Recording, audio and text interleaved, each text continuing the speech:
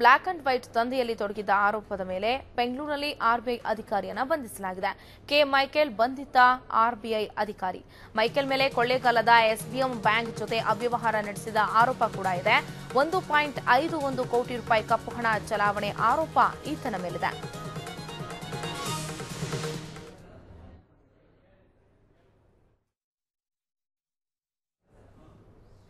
ಬೆಂಗಳೂರಿನಲ್ಲಿ ಆರ್ಬಿಐ ಅಧಿಕಾರಿಯನ್ನ ಬಂಧಿಸಲಾಗಿದೆ. RBI ಅಧಿಕಾರಿಯನ್ನ CBI ಪೊಲೀಸರು ಬಂಧಿಸಿದ್ದಾರೆ. ಕೆ. ಮೈಕೆಲ್ ಬಂಧಿತ ಆರ್ಬಿಐನ ಅಧಿಕಾರಿ ಈತ.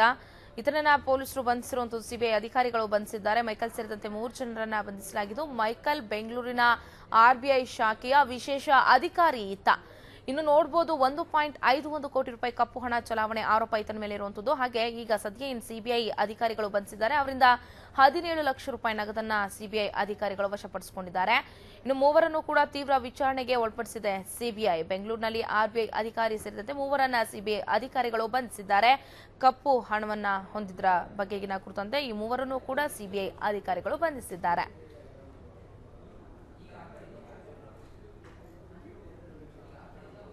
ಎಸ್ ಈ ಬಗ್ಗೆ ಮತ್ತಷ್ಟು ಮಾಹಿತಿಯನ್ನ ನೀಡಲಿಕ್ಕೆ ದೂರವಾಣಿ ಸಂಪರ್ಕದಲ್ಲಿದ್ದಾರೆ ಪ್ರತಿನಿಧಿ ಭವ್ಯ. ಭವ್ಯ, ಹೇಳಿ ನಾವು ನೋಡಬಹುದು ಈ ತರದ ಕಪ್ಪು ಹಣವನ್ನ ಬ್ಲಾಕ್ ಅಂಡ್ ವೈಟ್ ದಂಧೆ ಅಂತ ಏನ್ ಕಲಿತಾ ಇದೀವಿ. ಈ ತರದ್ರಲ್ಲಿ ಸಾಕಷ್ಟು ಹೆಸರು ಗಳಿಸಿರುವಂತಹ ವ್ಯಕ್ತಿ- ಉನ್ನತ ದರ್ಜೆಯಲ್ಲಿ ಕೆಲಸ ನಿರ್ವಹಿಸ್ತಾ ಇರುವಂತಹ ವ್ಯಕ್ತಿಗಳ ಒಳಗೊಂಡಿರೋದನ್ನ ನಾವು ನೋಡ್ತಾ ಇದೀವಿ. ಸೊ ಸದ್ಯ ಸಿಬಿಐ ಎರಡ್ ಕಡೆ ಈ ಒಂದು ವೀರೇಂದ್ರ ಮತ್ತು ಇಲ್ಲೋ ಮೈಕೆಲ್ ಅನ್ನುವಂತ ಅಧಿಕಾರಿಯನ್ನ ಕೂಡ ಬಂಧಿಸಿದ್ದಾರೆ. ಸೊ ಇವರಿಬ್ಬರ ಕುರಿತಂತೆ ಸದ್ಯ ಏನೆಲ್ಲ, ಡೆವಲಪ್ಮೆಂಟ್ ಆಗಿದೆ.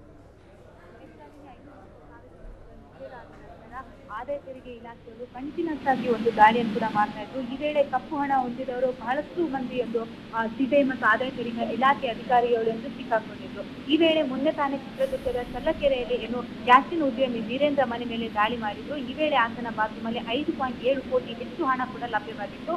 ಈತನಿಗೆ ಸಹಾಯ ಮಾಡಿದಂತಹ ತಿಪ್ಪೇಸ್ವಾಮಿ ಮತ್ತು ವೆಂಕಟೇಶ್ ಅನ್ನೋನು ಕೂಡ ಈಗಾಗಲೇ ಸಿಬಿಐ ಅಧಿಕಾರಿಗಳು ಬಂಧಿಸಿ ಒಂದು ಎಫ್ಐಆರ್ ಕೂಡ ದಾಖಲಿಸಿದ್ದಾರೆ. ಹಾಗೇನೆ ಇವರಿಗೆ ಒಂದು ಸಹಾಯ ಮಾಡಿದಂತಹ S B I S B M ಮತ್ತು ಕೋಟಕ್ ಮಹೀಂದ್ರ ಬ್ಯಾಂಕ್ ಅಧಿಕಾರಿಗಳ ಕೈವಡೆಯುವ ಹಿನ್ನೆಲೆಯಲ್ಲಿ ಈಗಾಗಲೇ ಸಿಬಿಐ ಅಧಿಕಾರಿಗಳು ಚಳ್ಳಕೆರೆ ಸುತ್ತನ್ನ ಬ್ರಾಂಚ್ಗಳಿಗೆ ಹೋಗಿ ಒಂದು ತನಿಖೆಯನ್ನು ಕೂಡ ನಡೆಸಿ ಅವರನ್ನು ಕೂಡ ವಿಚಾರಣೆಗೊಳಪಡಿಸುವ ಸಾಧ್ಯತೆ ಇದೆ ಮತ್ತೊಂದು ಕಡೆ ಶಾಲಿನಿ, ಏನು ಆರ್ ಬಿ ಐ ಅಧಿಕಾರಿಯನ್ನು ಕೂಡ ಒಂದು ಬಂಧಿಸಿರುವಂತದ್ದು ಮೈಕಲ್ ಅನ್ನೋನು ಬಂಧಿತ ಅಧಿಕಾರಿ. ಇದೇನು ಆರ್ ಬಿ ವಿಶೇಷ ಅಧಿಕಾರಿಯಾಗಿ ಕರ್ನಾಟಕದಾದ್ಯಂತ ಒಂದು ಕಾರ್ಯನಿರ್ವಹಿಸ್ತಾ ಇದ್ದ.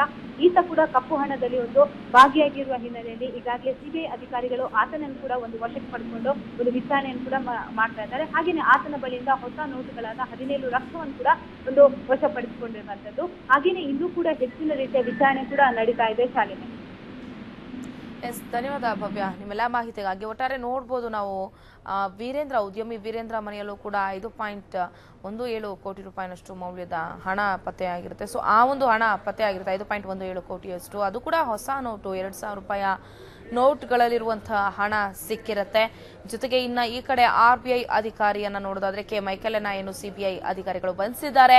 ಸೊ ಇವರ ಬಳಿ ಒಂದು ಪಾಯಿಂಟ್ ಐದು ಒಂದು ಕೋಟಿಯಷ್ಟು ಹಣ ಪತ್ತೆಯಾಗಿರುತ್ತೆ. ಜೊತೆಗೆ ಬಂಧಿತರಿಂದ ಈಗ ಹದಿನೇಳು ಲಕ್ಷ ರೂಪಾಯಿ ಹೊಸ ನೋಟುಗಳನ್ನು ಕೂಡ ಸಿಬಿಐ ಅಧಿಕಾರಿಗಳು ವಶಕ್ಕೆ ತೆಗೆದುಕೊಂಡಿದ್ದಾರೆ. ಇನ್ನು ಬಂಧಿತರೆಲ್ಲರನ್ನೂ ಕೂಡ ತೀವ್ರ ವಿಚಾರಣೆಗೆ ಒಳಪಡಿಸಲಾಗಿದ್ದು, ಈ ಸಂದರ್ಭದಲ್ಲಿ ಯಾವೆಲ್ಲ ಬ್ಯಾಂಕ್ನಲ್ಲಿರುವಂತಹ ಅಧಿಕಾರಿಗಳಾಗಬಹುದು ಜೊತೆಗೆ ಇಲ್ಲಿ ನೋಡೋದಾದ್ರೆ ಆರ್ ಬಿ ಐನ ಅಧಿಕಾರಿಗೆ ಈ ಒಂದು ಕೆಲಸವನ್ನ ಎಸಗಿರುವಂತದ್ದು.